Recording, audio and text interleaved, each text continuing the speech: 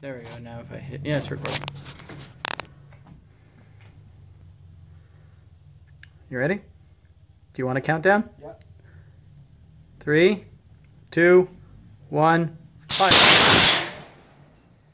I think that was strong enough.